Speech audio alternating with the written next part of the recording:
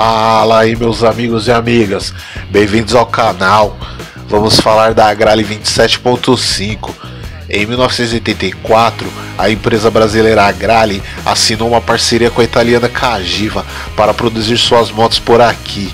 E essa parceria durou até 1997, quando a Agrale decidiu parar de trabalhar com motos.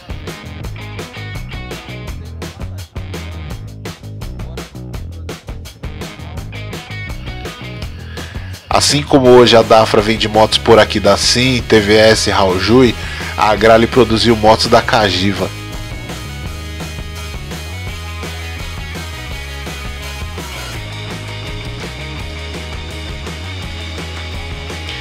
A 27.5 foi produzida entre 1985 a 1997.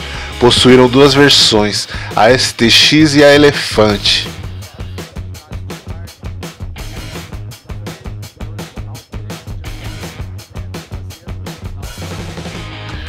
Muitos pensam que esse número 27.5 significam 275 cilindradas, mas não, 27.5 é sua cavalaria.